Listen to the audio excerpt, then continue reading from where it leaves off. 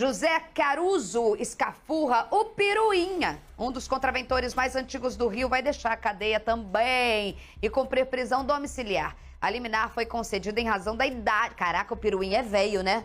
Mas muito velhinho. O Piruinha já é muito velhinho. A liminar foi concedida em, relação, em razão da idade do quadro de debilitação da saúde do bicheiro. Rodou.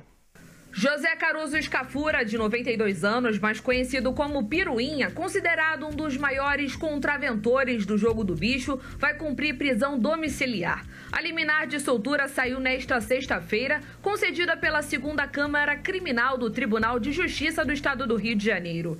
Ele estava internado desde maio quando escorregou no banheiro da casa do albergado Crispim Ventino, em Benfica, na zona norte do Rio, e fraturou o fêmur. A liminar foi deferida em razão da idade avançada e do estado debilitado de saúde de Peruinha, que sofre com um quadro de osteoporose avançada. Escafura estava preso desde maio deste ano por suspeita de ter mandado matar Natalino José do Nascimento Espíndola, conhecido como Neto.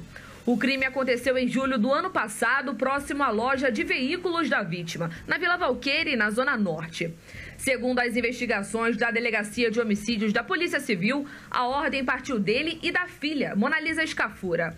Na decisão, a desembargadora relatora determinou que Peruinha só vai poder receber visitas dos familiares e dos advogados. E fica proibido de ter contato com as testemunhas arroladas no processo.